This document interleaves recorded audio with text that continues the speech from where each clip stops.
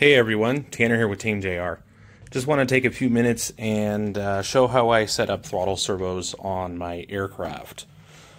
Um, a lot of people like to do their throttle linkage setup um, very similar to how you would do a control surface, where you have your the arm on your servo here is perfectly perpendicular to the case of the servo at center and then uh, try to get an even sweep top to bottom out of the servo.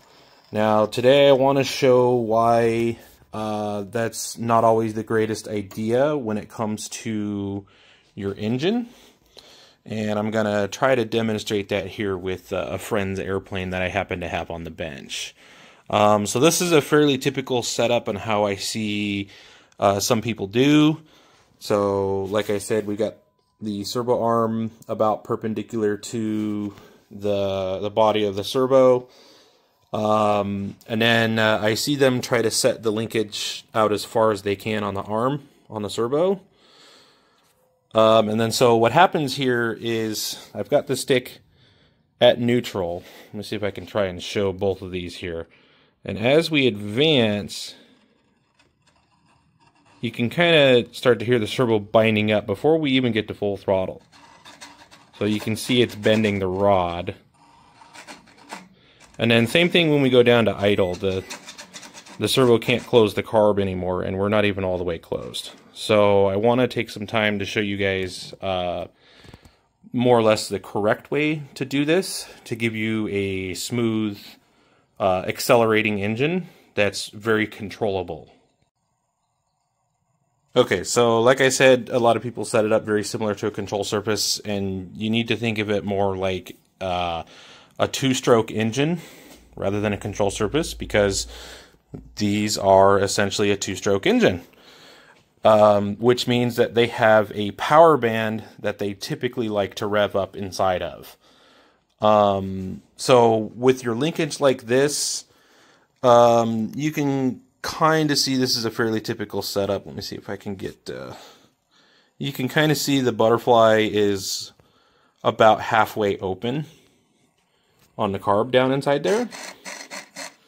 Now the problem with this is about halfway open on the butterfly, your engine will actually want to rev more towards three quarters of its RPM range. So you're revving closer to 70 to 75% uh, with this type of setup here. So I want to make some changes uh, to this linkage and I'm going to show you what I do to get a very smooth and controllable uh, two-stroke engine setup on your typical gas airplane.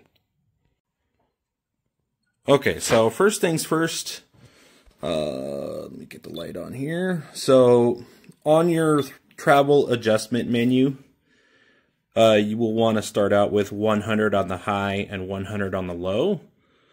Uh, so we're starting with a clean slate here. And something that I personally do to start out is we'll take the throttle trim here.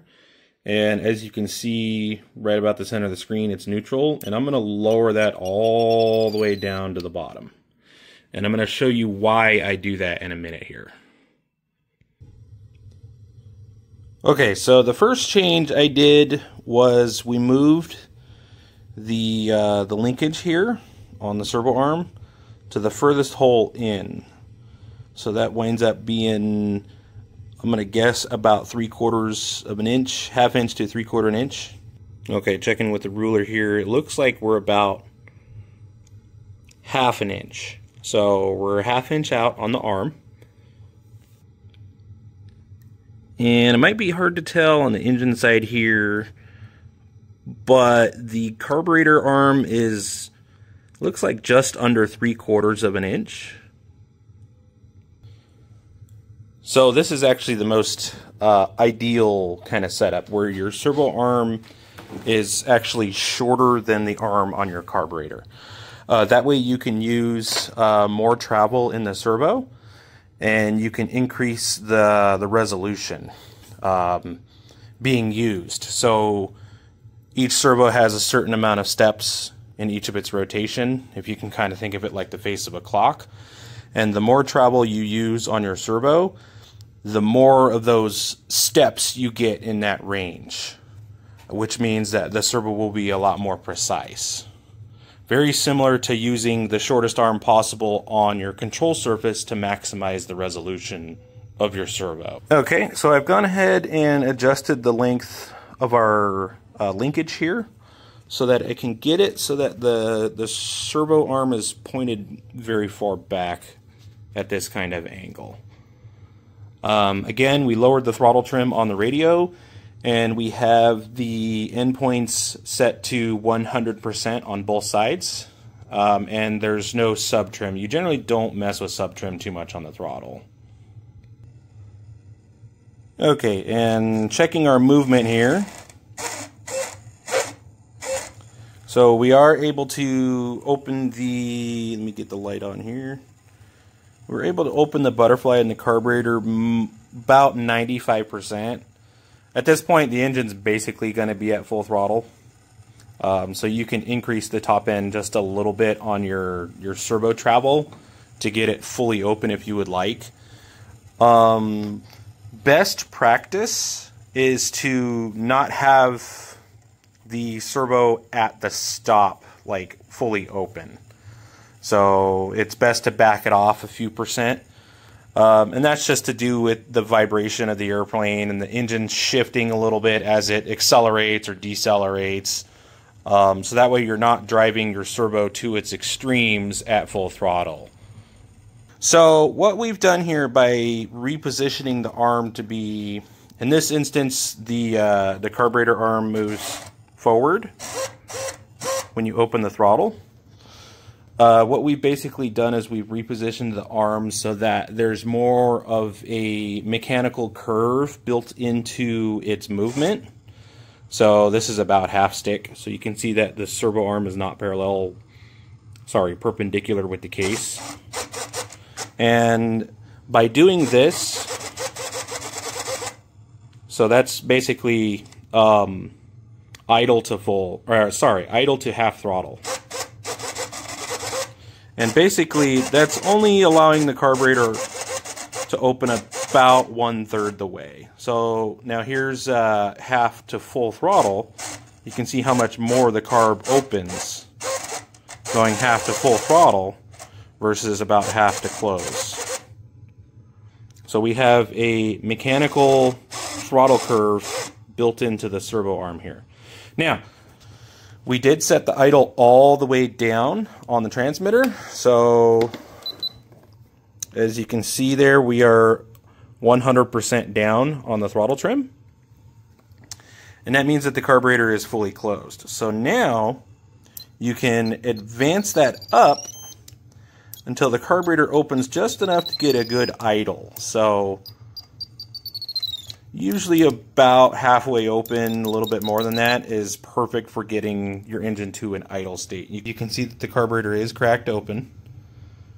And that's usually sufficient to get the engine to idle. This is a DA170, so we don't need a lot of uh, open on the butterfly here to get this engine to idle.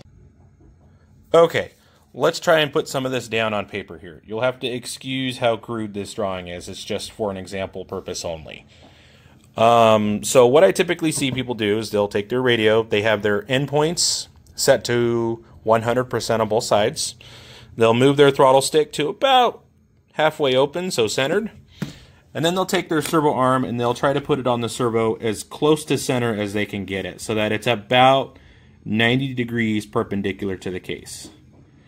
And then they'll set their uh, their high and their low so that the servo arm moves the same on either side of 90. What that does is it causes a very pipey feeling to the engine where the engine progressively accelerates faster and faster the more throttle you get it instead of accelerating at a smooth linear rate. So you wind up getting an engine that revs extremely fast off of idle and just continues to get faster and faster. Um, and a lot of times that engine will be racing full throttle by about the time you get to, uh, let's say, about three quarter open, like here, like I mentioned earlier.